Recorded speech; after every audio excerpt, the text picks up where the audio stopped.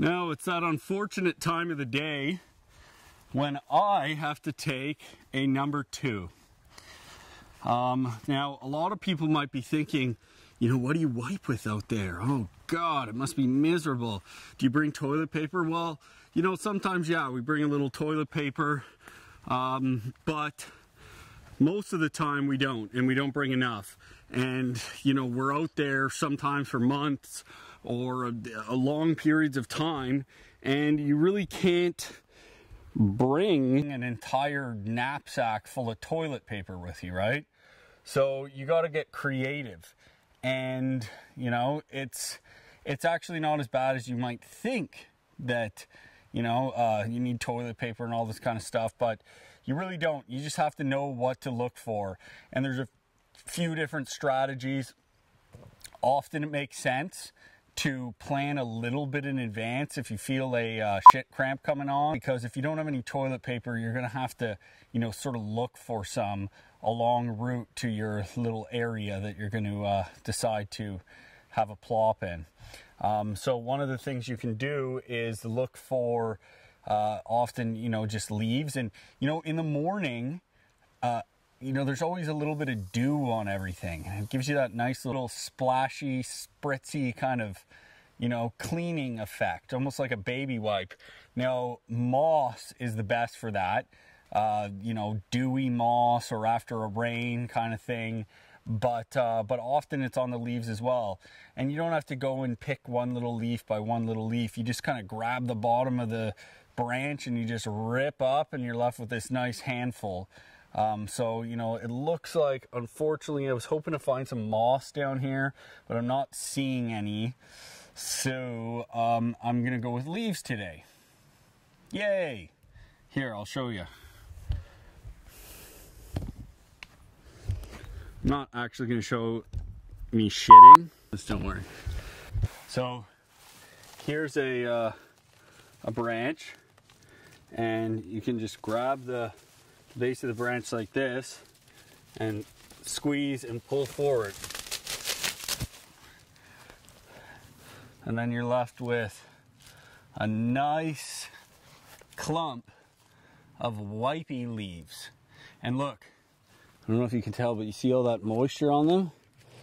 All nice and soft for added cleaning effect that you don't get with toilet paper, might I add. Don't get it. Let's get some more.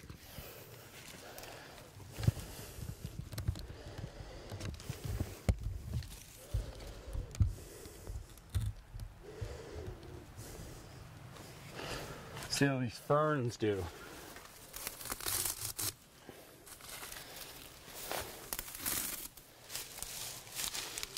They're a little twiggy. They don't feel the best.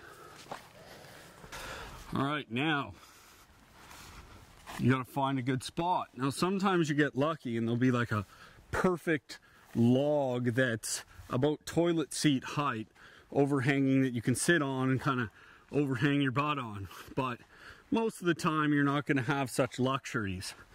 So, you're to have to find a spot. Now, you might have to tuck, uh, you know, just a squat and tuck.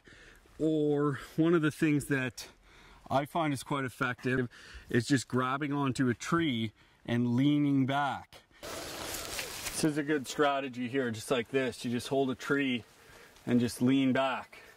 That way you keep, uh, that way you can keep a lot of things clear um, of your general vicinity. You know, you, you can keep your pants clear and everything clear and you, you really minimize the risk of any mess getting on yourself because trust me, it can happen. Um, and you know, for guys, you got to be careful because you know when your pants are down and you're going in this kind of way, uh, you got to tuck your uh, your dingling back there. You're gonna piss all over your pants in the front, you know, because you know when you go number two, you pretty much always go number one at least a little bit, right? So um, you know, I'd say, uh, yeah, you got to be careful with that. And then, you know, you also don't want to tuck it too back far, too far back because you don't want to, you know, take a number two on your dingling either, right? So you gotta be pretty careful. There's been books written about this stuff, how to shit in the woods, stuff like that. And it's no joke. I've, I've heard of people, you know, throwing their sweater down, have a number two, and somehow they take a they they went in the hood and didn't realize and throw it over their head. And they uh, put their sweater back on whip it on their head and they've shit in their own hood. So you know uh, sometimes you know we're in a rush because of obvious reasons and we don't think these things through too often especially if you're not used to uh, going in the woods and have a strategy. But uh, just as we're talking I have noticed some moss so I think I might ditch this for the moss. Check it out.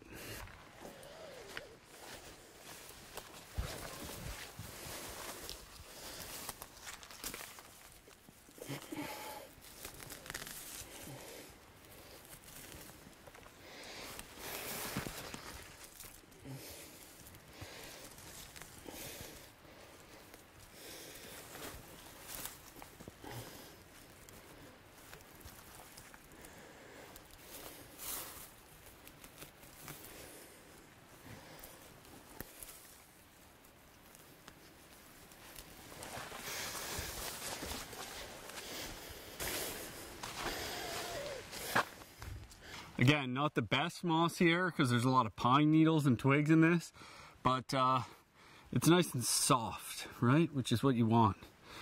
You want it to be nice and soft and it's moist and it doesn't break off. You might be afraid that it's gonna break off. It just, it doesn't. And uh, really gets in there and cleans it for you. So that's a uh, good little tip, moss and leaves. And um, I'll leave it up to your imagination what I'm gonna do next. Out of shit in the woods.